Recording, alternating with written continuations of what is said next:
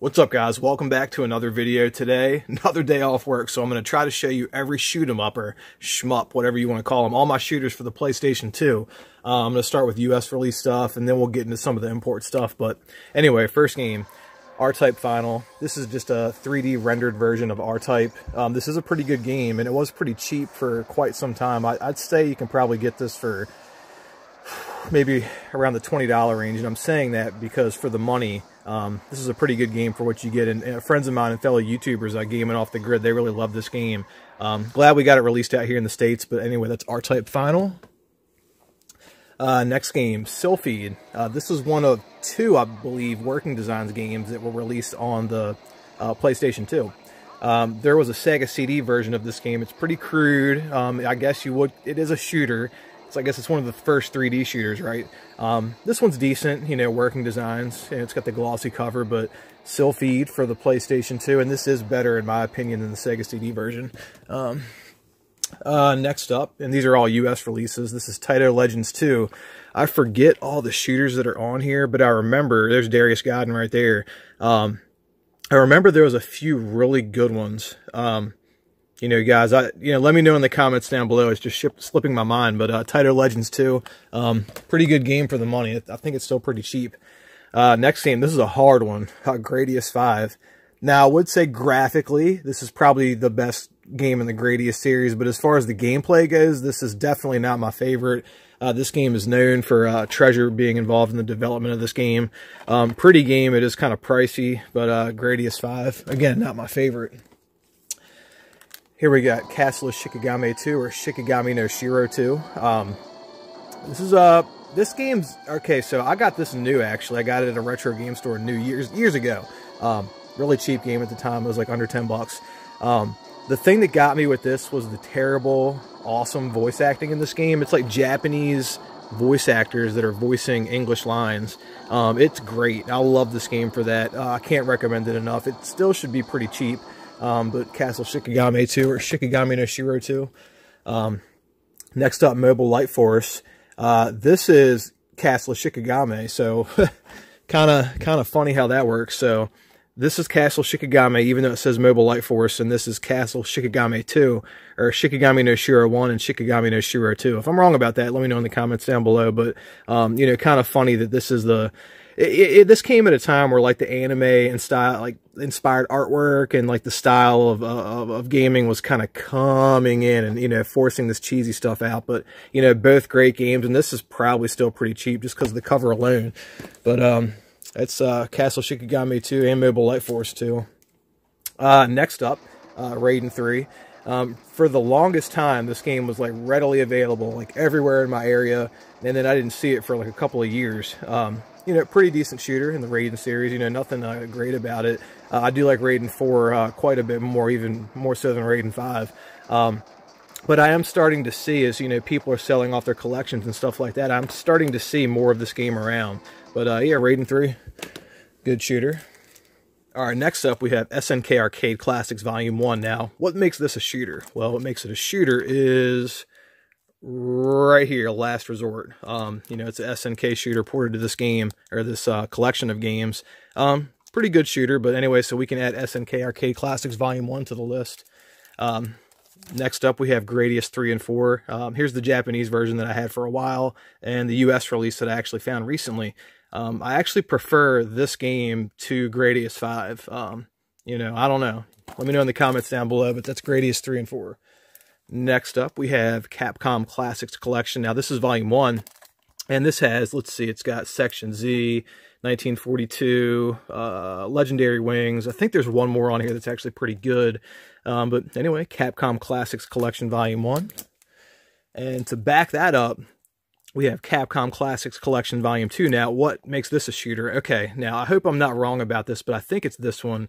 There's a arcade port of a game called Three Wonders. Now, Three Wonders was actually also ported to the PS1 over in Japan, but Three Wonders is like, it's like three games for like one arcade machine, and one of those games is like a pretty cool shooter. It's weird, it's visually stunning, or visually weird. Um, God, it's like, uh, it's not Cho Aniki weird, but it's like TwinBee, like more than TwinBee weird, but anyway, that's uh should be on here. It's pretty cool. So this is definitely worth the money because of Three Wonders. I'm telling you guys, Capcom Classics Collection Volume 2. Look out for this one. It's cheap. It's cheap. Uh, next game is a game I cannot play because I don't have a PAL system, but this was like under 10 bucks. I found it one day, and that is 12 Stag. Um, this is, uh, I think Triangle Service did this game. I don't know. Let me know in the comments down below. Um, God, I feel like I have this on the 360 or something. But anyway, that's 12 Stag. I'm sure I have a port of that on something. Um, we're moving on over to the Japanese games. Now, this is the meat and potatoes of this collection, guys. And huge shout out to David at uh, Gamers Paradise. Uh, you know, that guy really looked out for me. If it wasn't for him, you know, I wouldn't have most of these games. But anyway, first game, we have Thunder Force 6. Now, for those that thought Thunder Force 5 was the last one on the PlayStation 1, we got another one. We got Thunder Force 6. And I would equate this to like um, like R-Type Final. It's like that kind of you know good. Um, it, it's it's got the you know it's got the Thunder Force uh, gameplay, but uh, it's it's it's not my favorite Thunder Force game, but it is really good. Um, I don't think this one's super pricey, maybe around the $50 range. But anyway, Thunder Force 6. And next up, this is another, this is a good one, and that's uh, Espgaluda. Uh, this does come with a, and you got to have a Japanese or a, um, you know, Unibios or whatever PS2 to play these, uh, Madra modded or something, but Espgaluda, um, great game if you like Esprade or if you played the sequel to this on the Xbox 360. Uh, has some of the Cave's best mechanics. Um, you know, I got this one locally. Uh, you know, great shooter. It's uh, Cave at their at their best. Next up, again, found this one locally. This is a, a, 3D version of Twinkle Star Sprites. This is actually the first version of Twinkle Star Sprites that I ever gotten played, and it looks like at the time you could play it online. I'd be interested to see people that are still able to get this online and play it. That'd be pretty cool. But this is a good game. It's a good shooter. It's um, kind of like a the fighting game of shooters, if you will. Um, but anyway, Twinkle Star Sprites. And next up, we have probably the best shooter on the system for the PS2. Anyway, that's uh, Dodonpachi Daioujou. Uh, great cave shooter. I love the sound effects. If you like Ketsui, um, this is pretty much uh, exactly the same, you know, just different uh, sprites and stuff like that. But if you like Ketsui, uh, you'll love Dodonpachi Daioujou. Uh, great game, and I think there's a port of it on the 360. Um, next up, we have Trigger Heart Excelica. Now, this game actually came in a collector's edition. Um, I don't even think it's that much money, but I really don't feel like adding a giant collector's edition to my uh, my games right now. But good shooter. Uh, there was a port of this on the 360, which is really easy to burn and play if you want to play it and try it out. But anyway, that's uh, Triggerheart Excelica. And next up, this is a popular one, but it is really good. I've heard people give this game a lot of flack, but that's Giga Generations. Um, you know, I'm one of those guys. You got Giga Wing 1 and 2 on the Dreamcast. They're uh, they're both pretty good. Um, you know, I've heard people talk shit on Giga Wing too. I, I, I like it, you know. Um, I didn't like this game at first, but when you get into the bullet deflect uh, mechanics of this game, it gets pretty addictive and it makes the game pretty easy actually. But that's uh, Giga Wing Generations. And it sucks that's exclusive to Japan, but this is another uh, triangle service game. This is uh, Trizeal. Um, I'm pretty sure you can, this this was like one of those Dojin games. I think you can download it and play it on a PC. Go to uh, you know, Dojin Gravity or something. You can probably you play it on your PC, try it out. But Trizeal, this was kind of tricky to find, but you know, it wasn't super pricey. This was like in the $50 range. Um, you know, pretty good shooter. And next up, we have Psyvariar 2 Ultimate Final. Now, I do believe, and correct me if I'm wrong about this, but this is a port of the Dreamcast version, um, which I kind of prefer. It's kind of weird. Uh, this one does have a DVD. Uh, there's been several uh, Psyvariar games that came out on the PlayStation 2. This is the only one I have. Um, this was actually kind of tricky to find, but Psyvariar 2 Ultimate Final. And next up, we have Homura, uh, Taito shooter. Um, this one's pretty good. It's a shame that not a lot of people uh, talk about this one, but I really like it. Uh, if you like the Shikigami no Shiro series, uh, you will like this game. That's all I can say. Great shooter, Homura. Last but definitely not least by any stretch, we have, you guessed it, Ibara. Um, God, this game was the hardest game for me to find.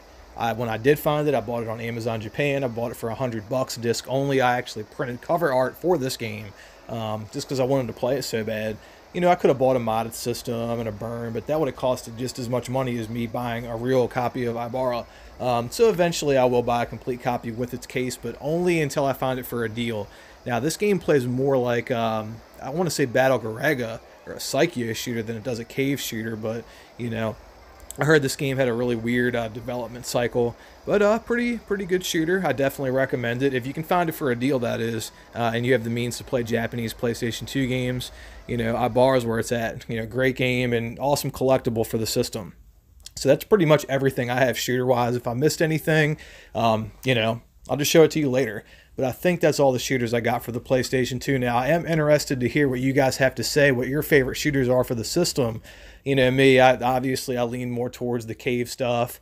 Um, you know, I would love to buy a copy of Mushihime Sama. Just haven't found one yet, but one day, you know, I've, I've run across some crazier stuff. I recently found a copy of uh, Border Down on the Dreamcast for a pretty awesome deal. So, you know, you never know it's going to come up and pop up in your area.